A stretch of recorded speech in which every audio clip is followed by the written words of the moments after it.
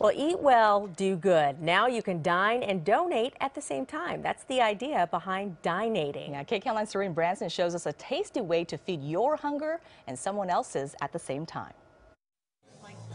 We're trying to create a dination. Shira Gorn calls herself the chief feeding officer of Dinating. And dine and donate at the same time. You don't have to choose one over the other. Gorn is an LA attorney in the restaurant business and started this nonprofit a year and a half ago. People like trying new restaurants, but like having value.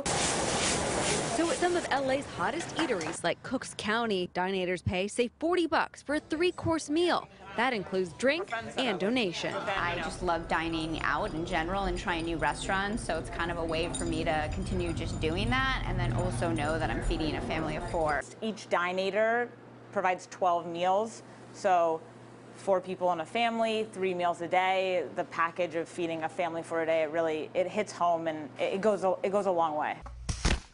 They donate to local charities like Sova's Food and Resource Program, run by Jewish Family Services, serving people of all faiths. $10,000 donation could produce 50, 60, 70,000 uh, meals, which would be enough for 3,000 families to receive a week's worth of food.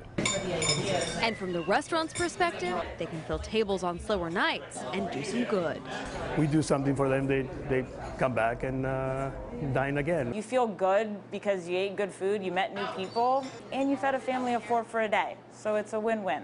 Now, anyone can sign up for a Dinating dinner, either by yourself or in a larger group. And they're now doing private events like birthday parties and book clubs. In the Fairfax District, Serene Branson, KCAL 9 News.